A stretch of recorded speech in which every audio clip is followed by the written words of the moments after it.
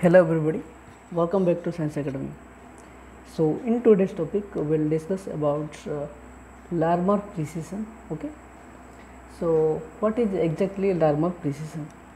So the basic concept is that uh, in this precession we will observe the behavior of magnetic dipole in an external magnetic field. Clear? So this is the basic concept that we will observe in this Larmor precession. So the concept is uh, we know that when an electron is revolving around a nucleus, okay, the central part is the nucleus, and the electron is moving or revolving around the nucleus, then there creates a dipole magnetic moment or dipole moment. Okay, so due to the creation of dipole moment, there induces a magnetic field and which is we can see okay this is the field direction and this is the electronic orbit. Okay so that induces a magnetic field. Clear? So when an atom is placed in an external magnetic field the electron orbit precedes about the field direction as a axis. Clear? So there is atom okay and uh, if it is placed in an external magnetic field okay so suppose uh, we will consider that electron is moving and electron moving means this is the electronic system is inside the atom and if the atom is placed inside a magnetic field you can see that the magnetic field then the electron orbit precesses about the field direction as axis clear? So this is this precession is called the larmor precession. Understand? So what is larmor precession then uh, I will show you one of uh, my model I have prepared to understand you. Okay see this. So suppose uh, you can see that uh, this is the electronic orbit okay? And the central part is the nucleus. So here suppose the black portion is the electron. So whenever an electron is revolving so so this like uh, okay you can see the electron is revolving like this. So here we know that uh, uh, during the revolution uh, there is creates a angular momentum L which is perpendicular to the plane of the orbit. Clear?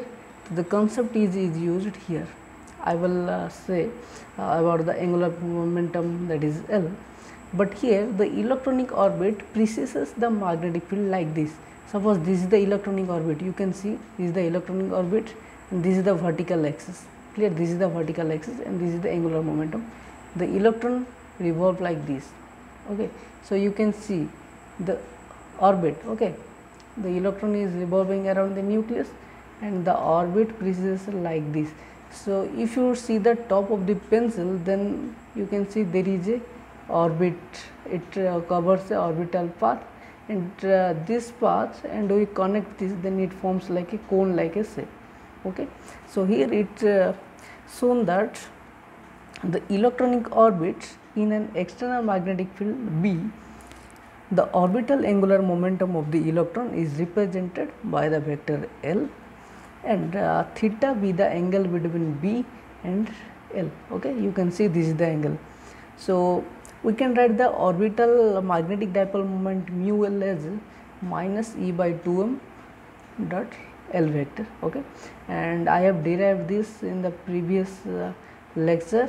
Okay, so you can see the lectures also where uh, mu L by L is equals to minus E by 2m and this mu L by L is called gyromagnetic ratio clear?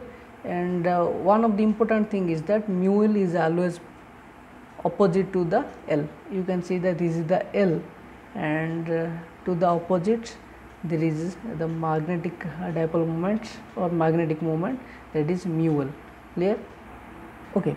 So whenever there creates a magnetic uh, moment okay and the interaction between this mu and the magnetic field v there uh, develops a torque okay and the torque tau is equals to mu l cross b okay. And if we expand then mu l b sine theta this is the value of the torque okay. So uh, so from equation 1 and equation 2 we can see that mu l equals to minus e by 2 l and putting the value of here uh, we get that mu sorry tau is always perpendicular to the vector L. And from the figure you can see this is the L vector.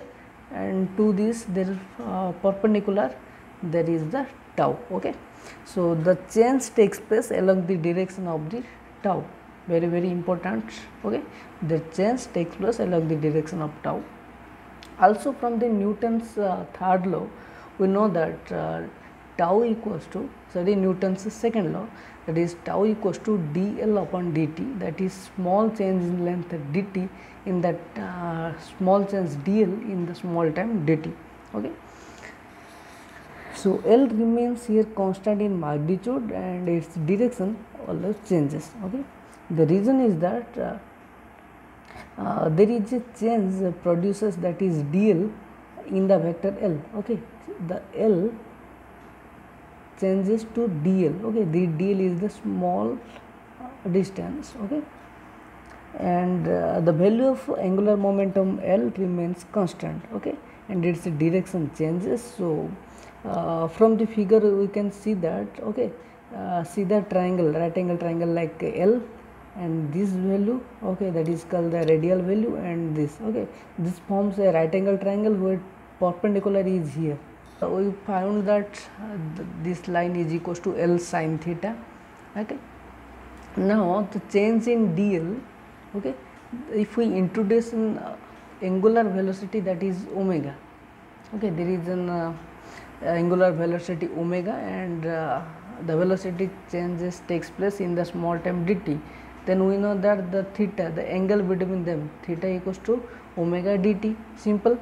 So uh, here we applying the formula that the arc okay the value of arc equals to what? arc equals to angle multiply radius. Similarly the small change dl this equals to this angle okay here see this is the angle multiply this. So the angle is omega dt and the value is l sine theta. So here uh, we get that omega dt l sine theta equals to dl or omega dt equals to dl by l sin theta and from this we get omega value equals to dl upon dt 1 by l sin theta. Here from the equation uh, here okay if we give it equation 4.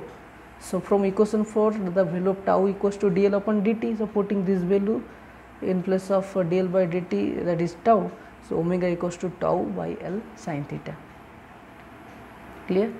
Now, uh, we will write uh, the value omega as okay. So, from the figure you can see that uh, the value of omega omega equals to tau by L sin theta and from uh, the value of tau value of tau is from the equation uh, 1 okay uh, sorry equation 3 tau equals to mu L b sin theta. So, mu L b sin theta divided by L sin theta upon cancellation it gives us mu L by L b therefore omega equals to e by 2m cross b. Okay e by 2m dot b. And this is the value of uh, angular velocity omega. So the larmor frequency okay larmor frequency is equals to omega upon 2 pi.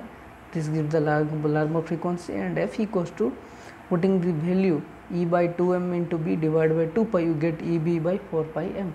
And eb by 4 pi m is called larmor frequency so this is all about the Larmor precession okay? So the basic concept is that here we observe the behavior of the magnetic dipole in external magnetic field. And one of the most important thing is that electron revolves around a nucleus in a certain orbit. It creates a dipole for which that induces a magnetic field okay? And around the magnetic field the electronic orbit precesses okay. So this is all about the Larmor precession. So hope uh, it will be useful for you. And if you like this video then please please share and subscribe to our channel. Thank you